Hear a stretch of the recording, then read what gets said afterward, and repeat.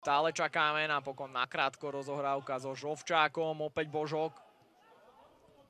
Center do 16 Sadam Sulej sa dostal do hlavičkového zakončenia, Michalovce vedú 1-0.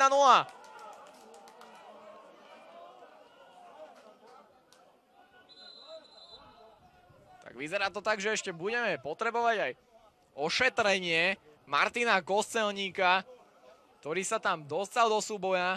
Ešte raz center, hlavička Sadama Suleja. Výborný zákrok Pavla Kováča, ale Martin Dobrodka nezvládol túto situáciu. A neustrážil Martina Kostelníka. Michalovce tak idú do vedenia. A v 41. minúte vedú 1-0.